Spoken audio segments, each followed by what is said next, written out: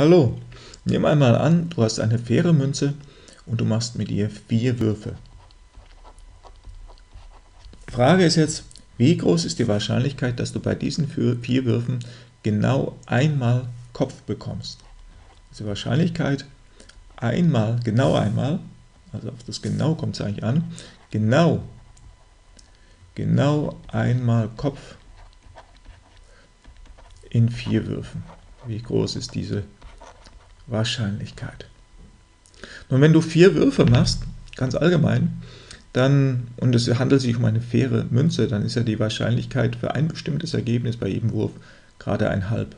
Das heißt, egal was du für eine Kombination vorgibst, du kannst jetzt hier irgendeine Kombination vorgeben, zum Beispiel Wahrscheinlichkeit von Zahl, Kopf, Kopf, Kopf zum Beispiel. Die Wahrscheinlichkeit von dieser Kombination ist dann gerade ein halb mal ein halb mal ein halb mal ein halb. Jedes Ergebnis ist ja gleich wahrscheinlich bei einer fairen Münze. Und das gibt dir dann hier, das ist gerade ein Sechzehntel, also eine bestimmte Vierer-Kombination hat die Wahrscheinlichkeit ein Sechzehntel. Und jetzt genau einmal Kopf zu haben in vier Würfen, da gibt es jetzt nicht nur eine Kombination, sondern da gibt es ja mehrere Kombinationen. Jetzt zum Beispiel die Kombination, dass du, äh, dass du Kopf, Zahl, Zahl, Zahl, das wäre eine dieser möglichen Kombinationen, die dir genau einmal Kopf liefert. Oder die Kombination Zahl, Kopf, Zahl, Zahl. Das ist eine andere mögliche Kombination, die dir genau einmal Kopf liefert. Und die Wahrscheinlichkeiten jeder dieser Kombinationen kannst du ja dann einfach zusammenzählen. Also die, Wahrscheinlichkeit für genau einmal Kopf in vier Würfen, die Wahrscheinlichkeit für dieses Ereignis hier, ist eben gerade die Wahrscheinlichkeit dieses, dieses einen Ergebnisses, was dir Kopf liefert, plus die Wahrscheinlichkeit dieses Ergebnisses, dass hier Zahl, Kopf, Zahl, Zahl rauskommt, plus die Wahrscheinlichkeit, dass hier Zahl, Zahl, Kopf, Zahl herauskommt, das ist ja auch einmal Kopf, plus, da fehlt noch eins, plus die Wahrscheinlichkeit, dass da Zahl, Zahl, Zahl, Kopf rauskommt. Alle diese vier Ergebnisse erfüllen ja die Bedingung, dass genau einmal Kopf hier herauskommt. Und du kannst diese Wahrscheinlichkeiten addieren, denn jedes diese Ergebnisse hier, die, die schließen ja einander aus. Es kann ja nicht gleichzeitig hier dieses Ergebnis eintreten und dieses Ergebnis, sondern die sind, die sind exklusiv. Deshalb kannst du die Wahrscheinlichkeiten auch einfach addieren. Und wie groß die Wahrscheinlichkeiten sind, das haben wir uns hier oben ja schon ausgerechnet. Jede dieser Wahrscheinlichkeiten beträgt ja gerade ein Sechzehntel. Also das hier hat die Wahrscheinlichkeit ein Sechzehntel das hier hat die Wahrscheinlichkeit ein Sechzehntel. Das ist ja nur eine ganz bestimmte Kombination aus diesen vier Münzwürfen. Und hier diese Wahrscheinlichkeit beträgt eben auch ein Sechzehntel. Das heißt, du hast ein Sechzehntel plus ein Sechzehntel plus ein Sechzehntel plus ein Sechzehntel. Das sind dann vier Sechzehntel oder auch ein Viertel. Also die Wahrscheinlichkeit, genau einmal Kopf in vier Würfen zu haben, beträgt gerade ein Viertel.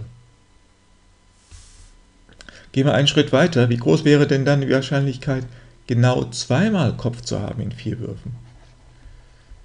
Genau zweimal Kopf in vier Würfen. Ja, das könnte man auch wieder so als Summe von möglichen Ereignissen schreiben, nur wird es allmählich ein bisschen unübersichtlich. Deshalb habe ich mal oben so eine kleine Tabelle gemacht, da können wir einfach mal nachschauen, wie viele Ereignisse gibt es denn, wo zweimal Kopf drin ist. Hier ist die Tabelle. Diese Tabelle zeigt alle möglichen Ergebnisse von vier Münzwürfen. Und wir müssen uns eigentlich nur die rauspicken, wo jetzt zweimal Kopf vorkommt. Hier habe ich in der Tabelle, das sind jetzt die ganzen Ergebnisse, wo dreimal Kopf drin vorkommt. Hier sind die Ergebnisse, wo einmal Kopf drin vorkommt. Hier habe ich viermal Zahl, viermal Kopf. Hier, hier ist der Teil, hier ist zum Beispiel zum ersten Mal ein Ergebnis, wo ich wirklich zweimal Kopf drin habe. Also das wäre so ein Ergebnis, was wir mitzählen müssen. Hier habe ich noch so ein Ergebnis. Und ja, da ist auch zweimal Kopf, da ist auch zweimal Kopf, da ist auch zweimal Kopf, da ist auch zweimal Kopf. Also alle diese vier Ergebnisse in der letzten Reihe, die enthalten auch jeweils zweimal Kopf. Die müssen wir alle mitzählen. Das heißt, in Summe haben wir also 6, 1, 2, 3, 4, 5, 6, 6 Ergebnisse, bei denen zweimal Kopf vorkommt. Das heißt, die Wahrscheinlichkeit, genau zweimal Kopf in vier Würfen zu haben, wäre dann eben 6 Sechzehntel. Jedes dieser Ergebnisse hat die Wahrscheinlichkeit 1 Sechzehntel, also 6 mal 1 Sechzehntel oder 3 Achtel. 3 Achtel würde die Wahrscheinlichkeit betragen. Jetzt habe ich ja dazu wieder diese Tabelle benutzt und es wird ja immer aufwendiger, diese Tabellen hinzuschreiben, je mehr Würfe es gibt. Stell dir mal vor, du solltest das für 10 Würfe machen. Da würdest du ja hier tagelang Tabellen schreiben. Also so kann es nicht gehen. Da muss es doch eine einfachere Methode geben. Und genau diese Methode haben wir ja mit der Berechnung der Permutationen und Kombinationen kennengelernt. Und jetzt geht es eigentlich nur noch darum, wie wende ich jetzt diese Permutation und Kombination, wie wende ich das jetzt an, um, um diese Wahrscheinlichkeit hier zu berechnen. Und zwar kann ich das so machen, dass ich wieder sage, okay, ich habe, ich habe ja vier Würfe. Also hier wäre der erste Wurf, hier wäre der zweite Wurf, hier wäre der dritte Wurf und hier ist der, der vierte Wurf. Ja, und jetzt will ich zwei Köpfe haben. Und den einen Kopf, den nenne ich mal hier den, den Kopf A und den anderen Kopf, den nenne ich den Kopf B. Das mache ich jetzt nur hier zur Unterscheidung. Das heißt nicht, dass der eine Kopf vor dem anderen kommt oder so, sondern ich sage nur, ich, ich will zwei Köpfe haben und die nenne ich halt so, damit ich sie unterscheiden kann. Und, und dieser eine Kopf A, der kann jetzt im ersten Wurf kommen oder im zweiten Wurf oder im dritten Wurf oder im vierten Wurf. Das heißt, da gibt es vier Möglichkeiten. Ja?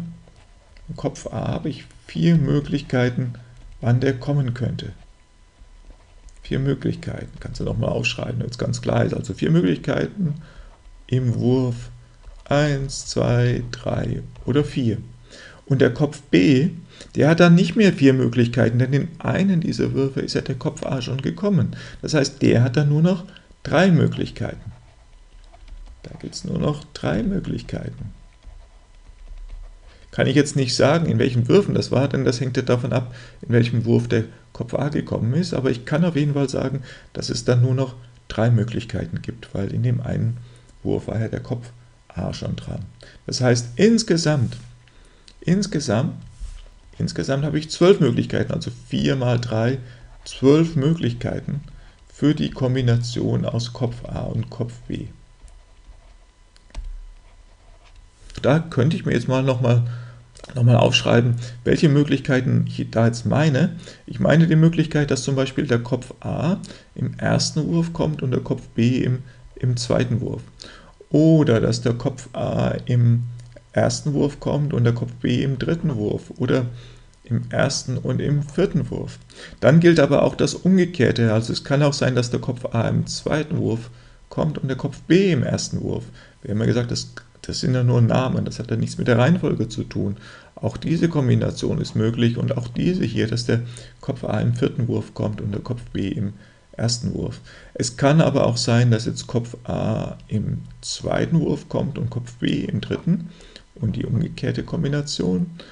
Oder dass der Kopf A im zweiten Wurf kommt und Kopf B im vierten oder die umgekehrte Kombination. Oder dass Kopf A im dritten Wurf kommt und Kopf B im vierten oder die umgekehrte Kombination. Also das hier sind 4, ja, 4 mal 3, 12 Möglichkeiten. Das hier sind meine 12 Möglichkeiten. Und die sagen immer, wann kommt Kopf A, wann kommt Kopf B, in welchem Wurf kommt Kopf A, in welchem Wurf kommt der Kopf B. Diese Möglichkeiten gibt es. Nun möchte ich aber nicht alle diese 12 Möglichkeiten unterscheiden, denn mir ist es ja egal, ob jetzt der Kopf A im ersten und der Kopf B im zweiten oder der Kopf A im zweiten und der Kopf B im ersten Wurf kommt, das ist ja für mich dasselbe. Das heißt ja nur, dass im ersten und im zweiten Wurf Kopf kommt. Und diese Kombination heißt nur, dass im ersten und im dritten Wurf Kopf kommt. Und hier, da steht ja nur, dass im ersten und im vierten Kopf kommt. Das heißt, nur diese Blöcke interessieren mich. Und wie ich sehe, habe ich hier sechs Blöcke. Und wenn du dich erinnerst, diese, diese zwölf Möglichkeiten, das waren ja wieder diese ganzen Permutationen. Und wenn wir gesagt haben, dass wir nicht unterscheiden wollen, welche Reihenfolge es gibt, wenn uns bei diesen Möglichkeiten die Reihenfolge egal ist, dann rechnen wir eben nicht die Permutationen aus, sondern die Kombinationen. Ja, das sind hier also diese sechs großen Blöcke, das wären diese sechs Kombinationen. Das heißt, ich muss diese zwölf Möglichkeiten noch teilen durch die Zahl der Möglichkeiten, hier meine kleine Untergruppe von zwei Elementen verschieden anzuordnen. Und da gibt es genau zwei Möglichkeiten, diese, diese Untergruppe anzuordnen. Ich kann eben 1, 2 oder 2, 1. Zwei Möglichkeiten habe ich, das anzuordnen. Das heißt, ich muss 12 durch 2, das heißt, es gibt mir wieder 6 sechs Kombinationen. Und diese sechs Kombinationen, das ist das, was ich wirklich unterscheiden möchte, was hier oben in die Berechnung der Wahrscheinlichkeit eingeht. Das heißt, diese sechs Kombinationen, das ist das, was ich hier zur Berechnung der Wahrscheinlichkeiten dann benutzen werde. Ja, und die Berechnung erfolgte genau so wie das, was diese Formel beschreibt, 2 aus 4. Also das ist genau die Zahl der Zweierkombinationen aus einer Menge von vier Elementen. Aber dazu gleich noch mehr Beispiele.